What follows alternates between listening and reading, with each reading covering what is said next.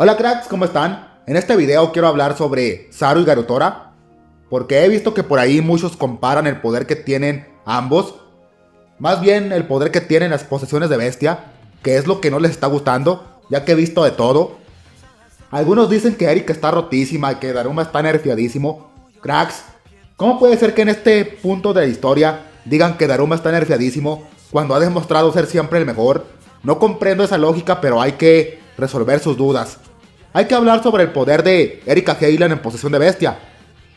Bueno, primero que nada, Erika soporta grandes cantidades de energía por sus células Genshin. Soporta más que Yukina, aunque no les guste. Más adelante en la historia van a saber por qué. La madre de Erika viene de un clan muy prestigioso de la galaxia Gautian. De hecho, en este capítulo que saldrá el día miércoles, menciono algo sobre ese clan que está en el top 3 de los reinos ahí arrogantes, podría decirse pero son arrogantes porque tienen poder. Podría decirse que Leila no es parte de ese clan porque, como quien dice, a Leila la tiraron. Ese clan desecha lo que no le sirve.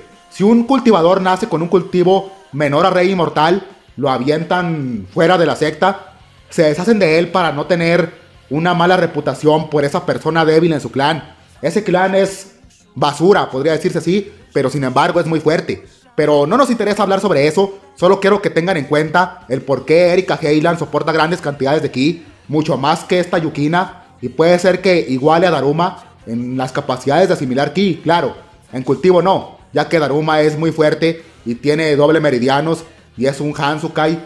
Bueno, tiene sangre de todo, ¿ah? De los Hansukai y de los Toutai. No es Hansukai en sí, ni tampoco Toutai en sí, pero bueno, ustedes entienden.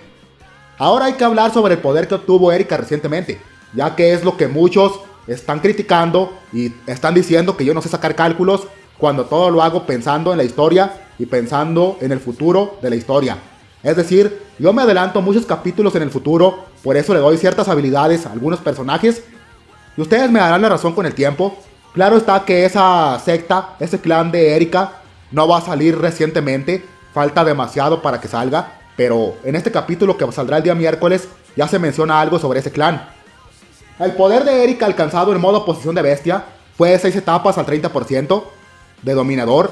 Eso les molestó, les hizo arder a unos la cabeza, diciendo que cómo es posible que Yukina no tenga ese poder, ni tampoco Daruma, que Daruma no haya incrementado tanto su poder en posesión de bestia. Bueno, Daruma es otro asunto porque él tiene doble meridianos, requiere de mucha más energía para completar sus etapas, pero eso le da un beneficio increíble ya que puede combatir con seres que tienen hasta 20 o 30% de etapa más que él, cosa que es casi imposible en el mundo de la cultivación. Solo un Toutai podría hacerlo. De hecho, solo Kitty Lei y Daruma podrían hacerlo. Son los dos genios más superdotados en la historia de los Toutai. Creo que me estoy metiendo en asuntos que no me corresponden, así que les explicaré el poder de las 6 etapas al 30%. Ese poder de 6 etapas al 30%, casi todo fue gracias a Garutora, no fue nada gracias a Erika. Erika simplemente sirvió como recipiente para almacenar todo el poder que tenía Garutora en un cuerpo humano. Es decir, el poder de bestia de Garutora se comprimió en el cuerpo humano de Erika y por eso explotó. En un momento de la historia, no recuerdo en qué capítulo, Okami Lobo de Plata ya explicó lo que pasaba cuando una bestia se convertía en un humano. Y en este caso fue lo mismo.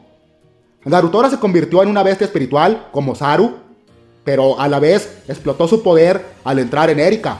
El poder de 6 etapas al 30% no se debe a la multiplicación del poder de Erika y el poder de Garutora. Se debe a que comprimió el poder en un cuerpo humano. Eso ya lo dije tres veces ahorita y quiero que lo tengan bien en cuenta para que no digan que, ah, que cómo es posible que el poder de Rey Inmortal de Erika haya multiplicado a este grado el poder de Garutora. No, cracks. Erika es solo un recipiente que se va a hacer muy fuerte porque va a formar parte del clan de Daruma. Del clan de Daruma no, más bien del reino de Daruma.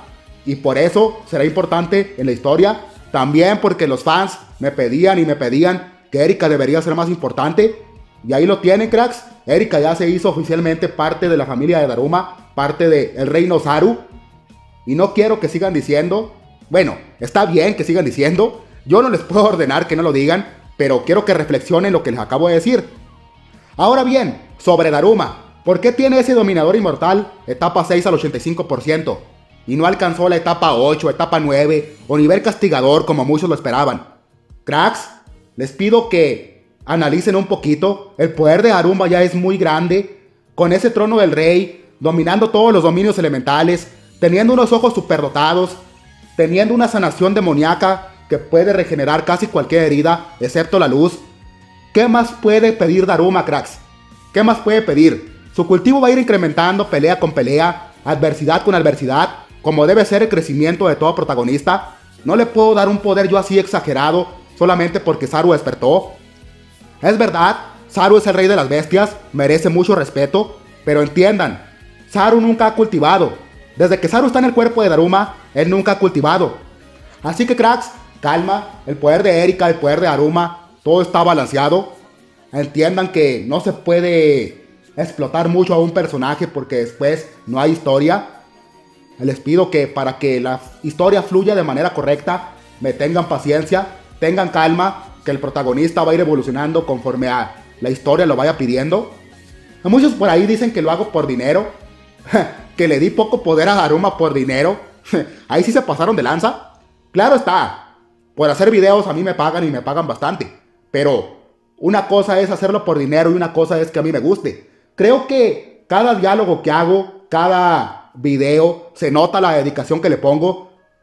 Luego se ve un video hecho por dinero y un video hecho porque te gusta, porque te apasiona lo que haces. Mis narraciones lo demuestran porque demuestran las emociones que estoy sintiendo al momento de narrar. Y sé que la mayoría de ustedes me entiende, pero por ahí hay un que otro hater que le gusta tirarme, pero está bien que lo haga porque también me apoya, la interacción me ayuda, comentarios malos y buenos me ayudan a explotar mi contenido y se los agradezco un montón, haters, fans así de corazón que me siguen, muchas gracias por creer en mí cuando empecé, por seguirme ahora como Kenny Rivera, uno de los anfitriones más apoyados aquí en la comunidad de YouTube.